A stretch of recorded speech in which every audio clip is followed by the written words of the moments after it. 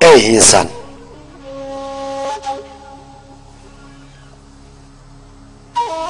Bir insanın sütü bozuk olunca fesatlıktan kendini alamaz. Hazım etmede sorun olursa sindirmesi hayli zor olur. Münafık ile bir posta oturunca düşkün olduğunu göremez.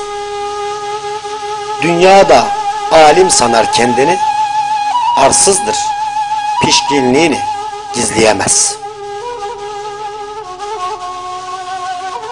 Mülkü ile kendini bir şey sanan toplum nazarında yeri yoktur. Ne kadar okumuş olursa olsun cahil olduğunu kendi bile göremez. Bugün iktidarını baki sanıyorsa akıbetini düşünmekten bile acizdir. Gözünü hırs, kim bürümüş ise böyle iti zincire vurmak bile caizdir. Ey insan! Nispet yapma, erdemli ol. Kamil olduğunu görsün alem.